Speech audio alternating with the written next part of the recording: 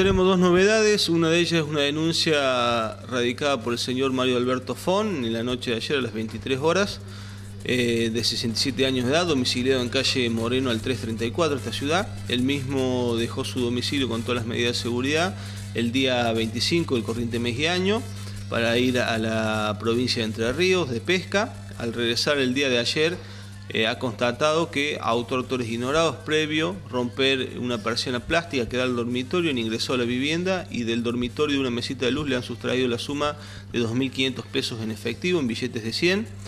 Eh, no ha encontrado otro faltante en lo que es la vivienda ni tampoco eh, revuelto el domicilio. Ha radicado la denuncia correspondiente acá en la División de Inteligencia Criminal y está interviniendo la Fiscalía de Instrucción en la investigación de este hecho.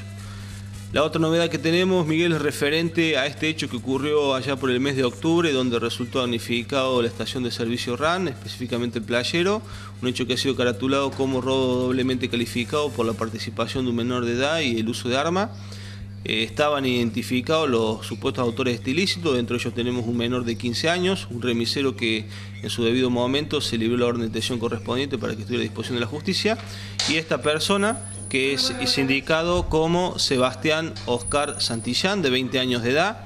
Él mismo, si bien en el momento del hecho, vivía acá en Marco Juárez, en Pablo Barracín de Sarmiento, 1400 aproximadamente, eh, es de la ciudad de Rafaela. Eh, cuando salió la correspondiente orden de detención, esta persona, preveyendo ya que iba a ser detenida, abandonó la ciudad, se dio la fuga aludiendo la acción de la justicia.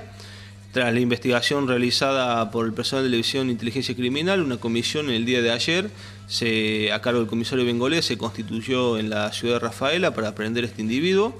No encontrándose en esa ciudad, se siguieron unas pistas hasta que se lo pudo localizar, que estaba en un hospital de la ciudad de Santa Fe, donde estaba el cuidado de su hijastro, debido a que habían sufrido juntos un accidente.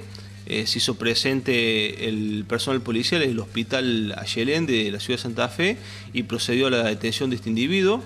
En este momento está alojado en la jefatura provincial de la policía de la ciudad de Santa Fe, debido a que estamos esperando los oficios correspondientes, los exhortos, para que este individuo sea trasladado acá a la alcaldía de Marco Juárez y sea puesto a disposición de la Fiscalía de Instrucción de esta ciudad, Secretaría del doctor Rinaldoni.